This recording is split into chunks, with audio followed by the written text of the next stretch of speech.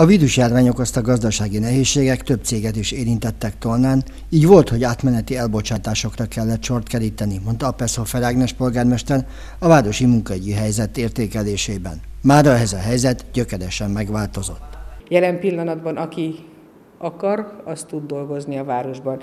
Ez nem azt jelenti, mindig el szoktam mondani, ez nem azt jelenti, hogy annyit keres, amennyit szeretne, és az sem jelenti, hogy feltétlenül ott dolgozik, ahol szeretne, de ma mindenki tud dolgozni a városban. A nagy foglalkoztatók elsősorban a szak és betanított munkára keresnek munkatársakat, de a polgármesteri hivatalban is rendszeresen jelennek meg állás lehetőségek, tette hozzá a polgármester.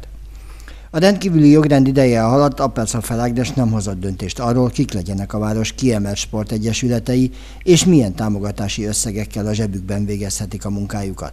Most a helyzet elmúltával a döntésre is sort kerített a képviselőtestület. A helyben szokásos támogatási összegnek a felét látta indokoltnak elkölteni erre a célra, méghozzá azért, mert azért az első fél évben ilyen kicsit felemás módon tudtak működni a sportegyesületek, Nyilván a pandémia az ugyan versenyeztetést, mint, a, mint az edzéseket is befolyásolta, és tehát egy ilyen kb. 5 millió forint pályázati pénz odaítéléséről döntöttünk. Szó esett az ivóvíz minőségének és a sorozatos vízhiánynak problémájáról a városban.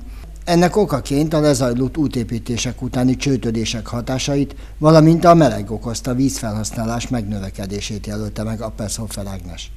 Azt mondta, egyelőre nem kíván a felhasználást korlátozó intézkedéseket bevezetni, mint ahogy ezt az ország több városában is megtették, de arra kérte a város lakosságát, józanul mérlegeljék például azt, hogy tényleg egy ilyen asszályos időszakban kell a kerti medencéket feltölteni.